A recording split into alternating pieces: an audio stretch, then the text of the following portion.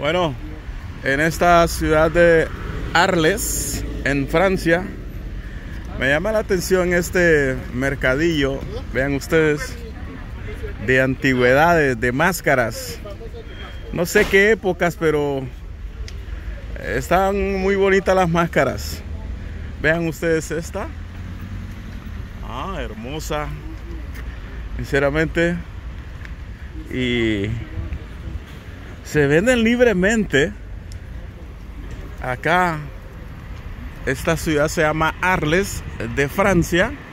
Y allá más adelante está el río Arno. Vean ustedes qué bonito esto, qué hermoso. Puro arte. No sé de qué época y como no hablo francés, pues no me quiero comprometer acá con el colega. Hermoso. Vean ustedes. Puro arte. Yo no sé si saliendo de los aeropuertos de Europa te dejan sacar esto, pero estoy sumamente asombrado por la venta libre de estas máscaras, de estas obras de arte.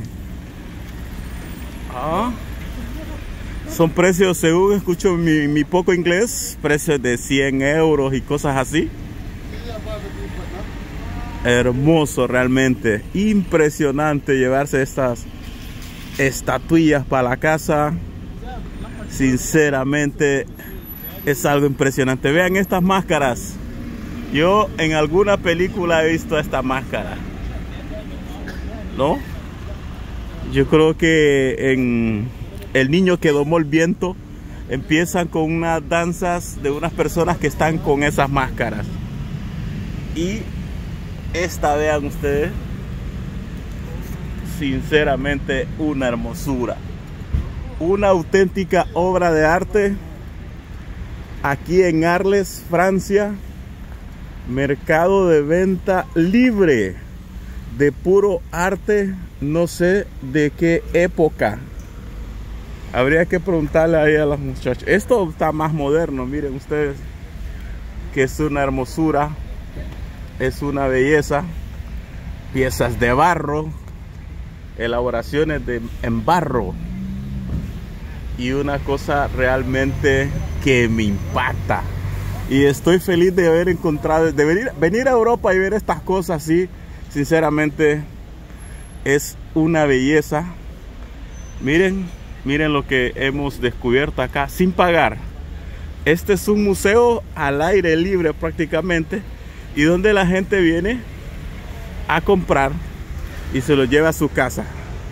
Miren, miren ustedes esto. Esto está lindo, es peine.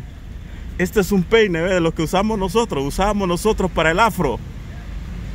Es una belleza esto. Vean ustedes. Bueno, yo digo que es peine, ¿va? Porque se parece mucho a los pic de antes.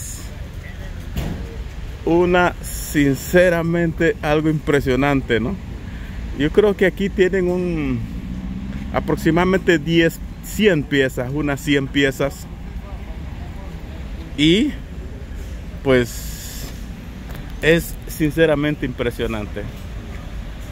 Eh, causa impresión verlos aquí. Y por supuesto, arte africano de nuestra madre África, de nuestra mamá África, todo acá. Y pues debe ser que los europeos los mantienen en sus casas, mientras que nosotros pues los que somos de América, del otro continente, dudo mucho. ¿Cuál comprarían ustedes? ¿Cuál les gusta? Ah, déjenos ahí en sus comentarios cuál les gusta a ustedes. Ah, son muchas. Vean ustedes esta.